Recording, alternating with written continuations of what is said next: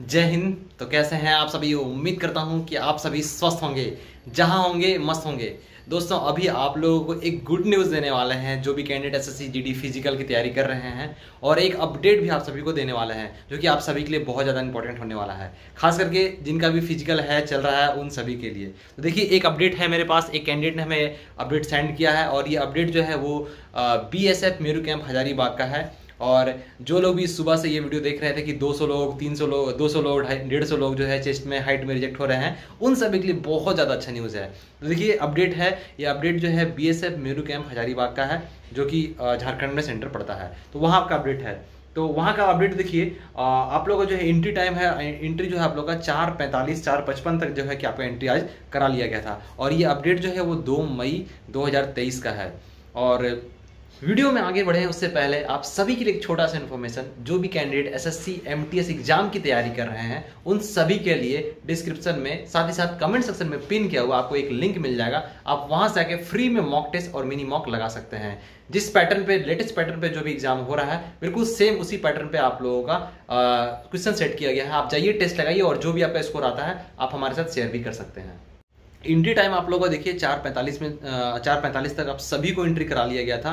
पहले दिन जो है कि लेट हुआ था, लेकिन दूसरे दिन जो है कि वो बहुत जल्दी जो है एंट्री करा लिया गया है। उसके बाद आप लोगों का साढ़े तीन सौ कैंडिडेट को आज रिपोर्ट करने के लिए बुलाया गया था, जिसमें से टू एटी नाइन जो है कैंडिडेट जो है आज प्रजेंट थे।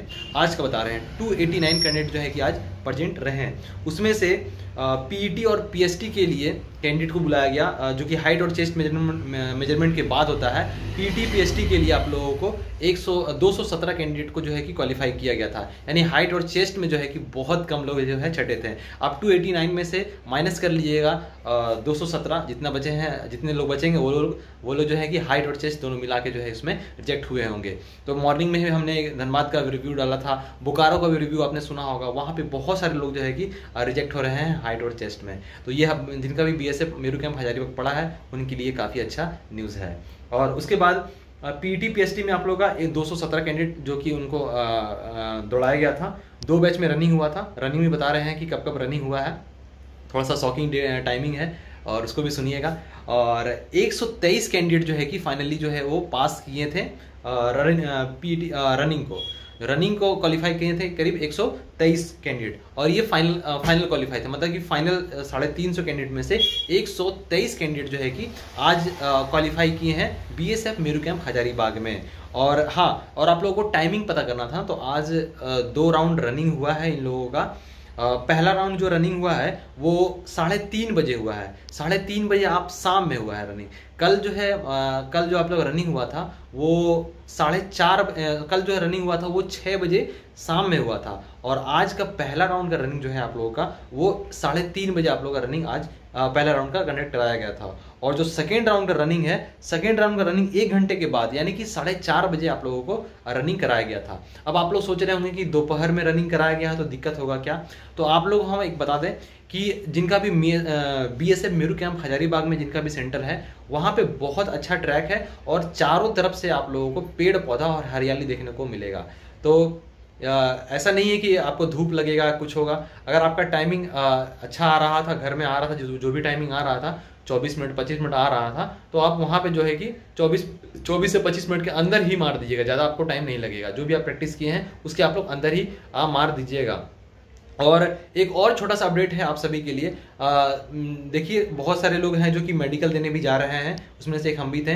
तो मेडिकल देने के दौरान अगर आपका जो पीटी पीएसटी डेट आ जाता है तो आप उसको एक्सटेंड करा सकते हैं। तो दो कैंडिडेट ऐसे भी आज आए हुए थे, जिनका फ़िज़िकल जो था वो एक मई को था। तो एक मई को फ़िज़िकल ना देकर वो आज आए थे, यानी कि दो मई को आए थे। तो उनको किसी तरह कोई दिक्कत नहीं हुआ है। वो आए हैं तो उनको थोड़ा सा अलग बिठाया गया था। लेकिन रनिंग जो है, जो उनका फ़िज़िकल हुआ है, वो एक साथ में ही उनका रनिंग हुआ था। तो उनको भी कोई दिक्कत नहीं था। बाकी ओवरऑल जो रेशियो रहा है, वो साढ़े तीन सौ कैंडिडेट में से एक सौ तेईस फाइनल जो है कि आज पास आउट हुए हैं B S F Meru camp Hazaribagh में। तो ये था अपडेट प्यारा सा आप सभी के लिए। और बताइएगा कि आपको ये वीडियो कैसा लगा है? वीडियो अगर पसंद आया तो वीडियो को ज़रूर से लाइक कीजिएगा। और मेरी मेहनत पसंद आती है तो चैनल को ज़रूर से सब्सक्राइब कीजिएगा। और किसी का कोई डाउट है तो नीचे आप लोगों को डिस्क्रिप्शन में आप लोगों को इंस्टाग्राम का आईडी मिल जाएगा। आप वहाँ जाकर फॉलो कर सकते हैं। और टेलीग्राम ग्रुप का टेलीग्राम ग्रुप को आप लोग ज़रूर से ज्वाइन कर लीजिएगा। और आप लोग ये ज़रूर बताइएगा कि आपका सेंटर कहाँ पे है और किस दिन आपका फ़िज़िकल है। ज़रूर नीचे लिखिएगा और हम कोशिश करेंगे कि उस सेंटर का भी फ़िज़िकल का रिव्यू आप लोगों को प्रोवाइड कर सकें। मिलते हैं हम लोग किसी अगले इन्फॉर्मेटिव वीडियो में। तब तक के लिए धन्यवाद।